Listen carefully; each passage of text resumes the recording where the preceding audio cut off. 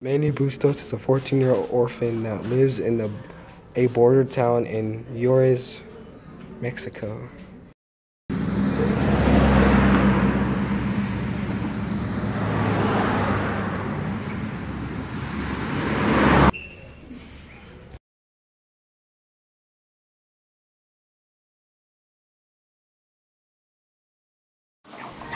He is a sergeant.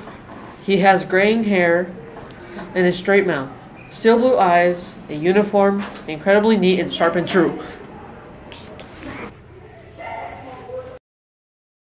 Go. At first, Manny attempts to make it across the border, but fails. Go. His second attempt, will he make it?